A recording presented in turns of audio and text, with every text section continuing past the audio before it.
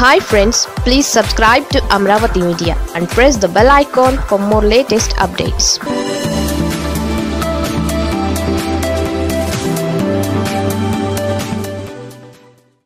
Congress YCP TDP ఇప్పుడు BJP ఇన్ని పార్టీలు ఎవరూ మారి ఉండరు. ఆమె సినిమా నటి చక్కగా తన అభినయాన్ని వెండి తెర మీద చూపించే సామర్థ్యం ఆమెకుంది. ఇక ఆమె చక్కని వక్త ఏ విషయం ఏదైనా ధాటీగా మాట్లాడగల నేర్పు ఉంది. ఎన్ని ఉన్నా కూడా ఆమె రాజకీయాలలో రాణించలేకపోవడానికి నిలకడలేని తనమే అతి ముఖ్య కారణమని అంటున్నారు. ఆమె చాలా కాలంగా రాజకీయాల మీద ఆసక్తితో ఉన్నారు. ఆమె అనేక పార్టీలను మారారు. తాజాగా ఆమె మరోసారి బీజేపీలో చేరారు. మరోసారి అంటే ఆమె ఇంతకు ముందు కూడా ఇదే బీజేపీలో చేరి ఉన్నారని అర్థం. తాజాగా ఆమె తెలంగాణ బీజేపీ ప్రెసిడెంట్ బండి సంజయ్ని యాదాద్రి జిల్లాలో కలిసి అక్కడ బీజేపీ కండువా కప్పుకున్నారు. తెలంగాణలో టీఆర్ఎస్ పాలన ఏమీ బాగోలేదని ఆమె దుయ్యబట్టారు. ప్రజలు ఎన్నో కష్టాలు పడుతున్నారని కూడా ఆవేదన వ్యక్తం చేశారు.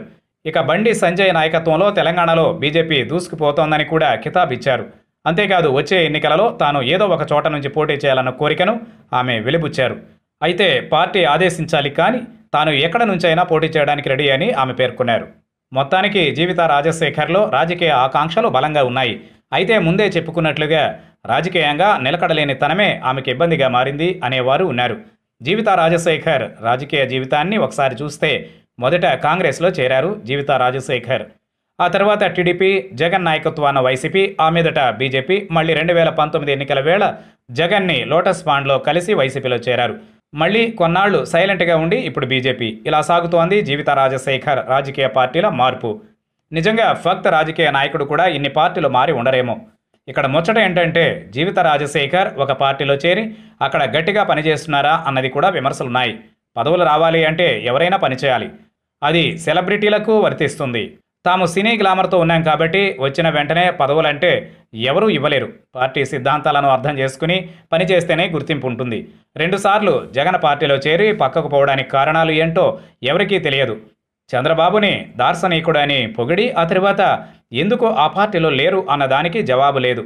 బీజేపీ కానీ కాంగ్రెస్ కానీ జాతీయ పార్టీలు. మరి అక్కడ ఎందుకు ఇమడలేకపోయారో కూడా జవాబు లేదు. ఇప్పుడు మళ్ళీ బీజేపీ అంటున్న జీవిత అక్కడ ఎన్నాళ్ళు ఉంటారు అన్న సందేహాలు ఎవరికైనా వస్తున్నాయి అంటే ఆమె రాజకీయం అలా ఉందనే అనుకోవాలంటున్నారు. ఇక బీజేపీ వారు సైతం వచ్చిన వారిని వచ్చినట్లే చేర్చుకుని కండువా కప్పేస్తున్నారు. జీవితతో పాటు జయసుధ తదితర సినీ నటులకు వారు గ్యాలం వేశారు. సినిమా వారు చేరితే వారిని ప్రచారానికి ఉపయోగించుకుని వదిలేయడం కూడా పార్టీలు చేస్తున్న తప్పుగా ఉంటోంది. వారిలో నిజంగా ప్రజాసేవ చేయాలన్న ఆసక్తి ఉంటే అవకాశాలు ఇవ్వాలి. అయితే ఇప్పుడున్న రాజకీయాలలో చిత్తశుద్ధితో పనిచేసే వారికి అవకాశాలు రావడం లేదు. ఏది ఏమైనా జీవిత రాజశేఖర్ మాత్రం పార్టీలను మార్చడంతో సినీ రంగంలో చూసుకుంటే రికార్డులు బద్దలు కొట్టారనే సెటైర్లు పడుతున్నాయి.